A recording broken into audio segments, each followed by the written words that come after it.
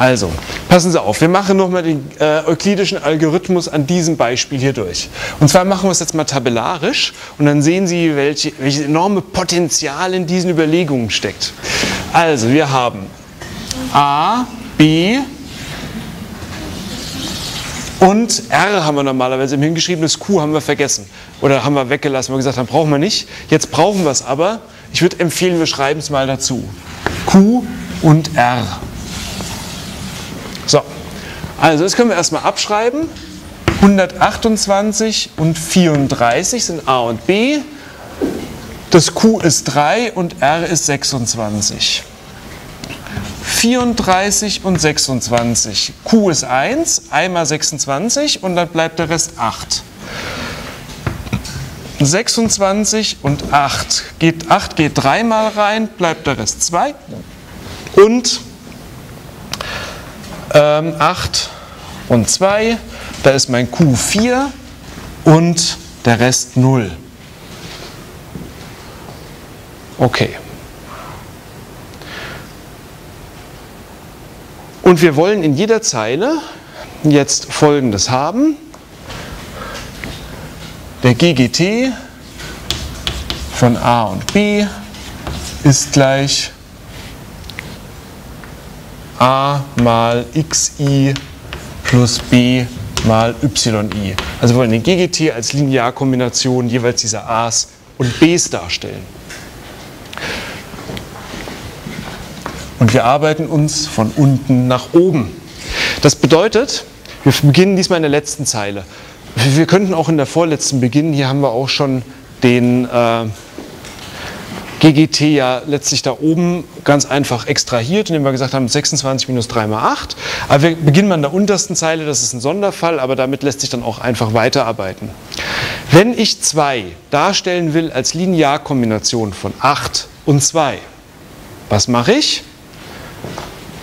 0 mal 8 plus 1 mal 2.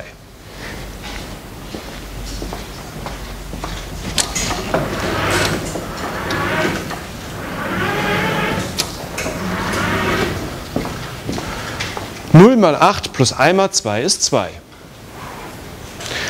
Jetzt arbeiten wir uns von unten nach oben. Aus der untersten Zeile da oben haben wir extrahiert, dass unser neues xi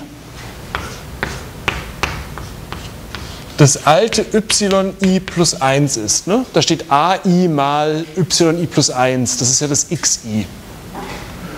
Und wir haben extrahiert, dass das neue yi das alte xi plus 1 minus qi mal yi plus 1 ist. So. Das ist jetzt eine etwas umständlich abstrakte Regel. Wenn man das aber internalisiert hat, wie man da jetzt vorgehen muss, dann geht es relativ flux. Ne? Hier. Das neue xi ist das alte yi plus 1 einfach das da rüber. Das neue yi plus 1 ist das alte xi plus 1, 0 minus das qi, das qi steht in dieser Zeile hier, ja, 0 minus 3 mal das alte yi plus 1.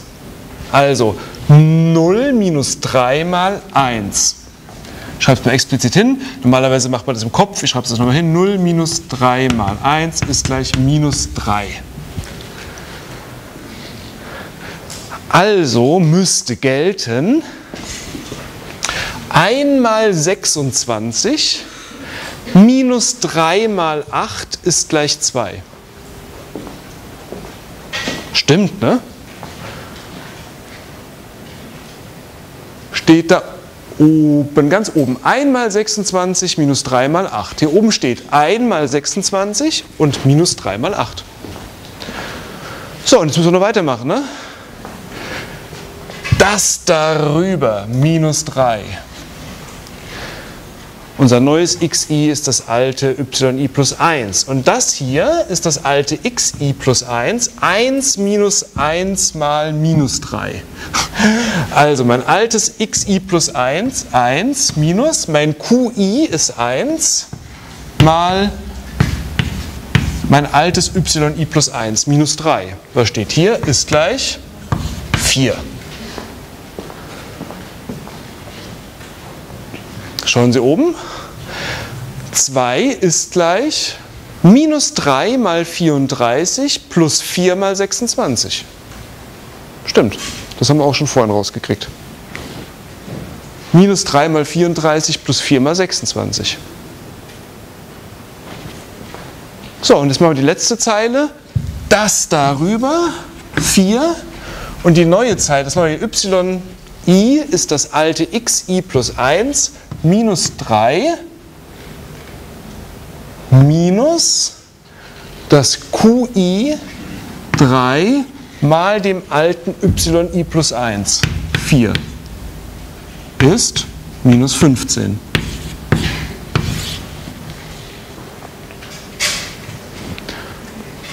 Genau das haben wir auch rausgekriegt. 2 ist gleich 4 mal 128 minus 15 mal 34.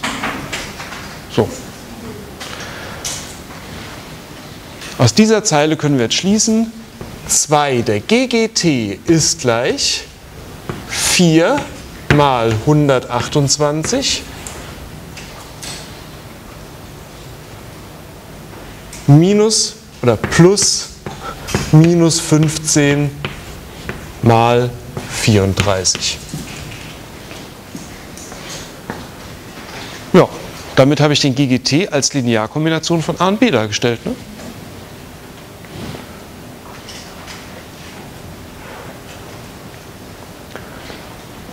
Führe den euklidischen Algorithmus tabellarisch durch. Nimm das Q mit, das ist ganz sinnvoll, weil ich das bei der Rückwärtsrechnung brauche. Wenn ich den gemacht habe, schreibe ich mir hier unten 0 und 1 hin.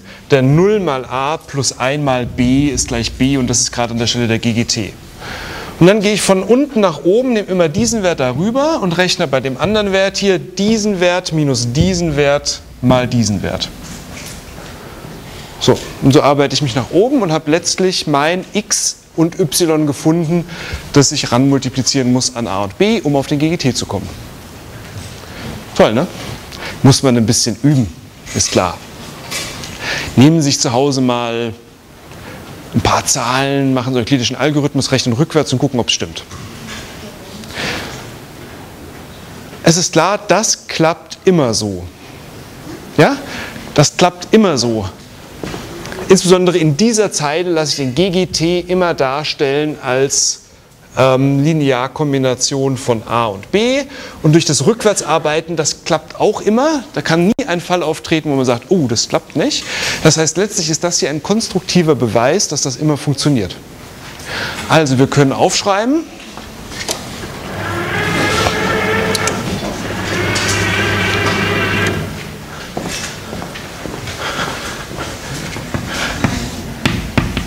die diophantische Gleichung.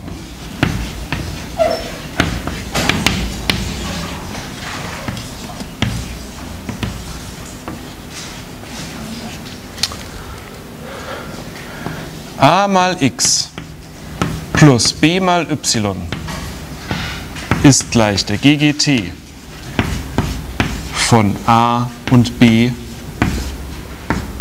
ist immer lösbar.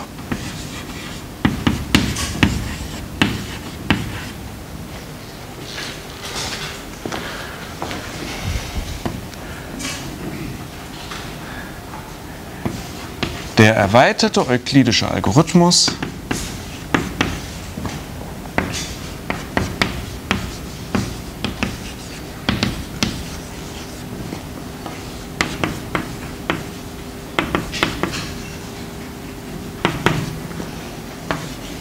liefert eine Lösung.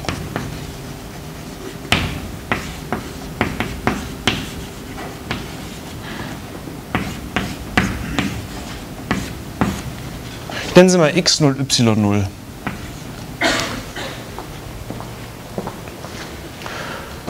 x und y0 ist die Lösung, die der euklidische, erweiterte euklidische Algorithmus liefert.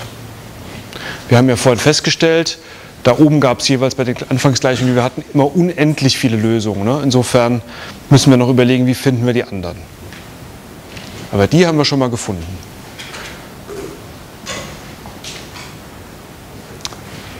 Okay, gibt es an der Stelle erstmal Fragen?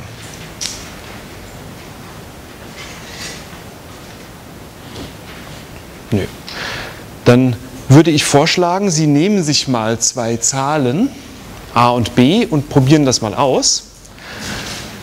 Und in der Zeit muss ich die Tafel wischen, weil wir brauchen gleich ganz viel Tafel. Ja?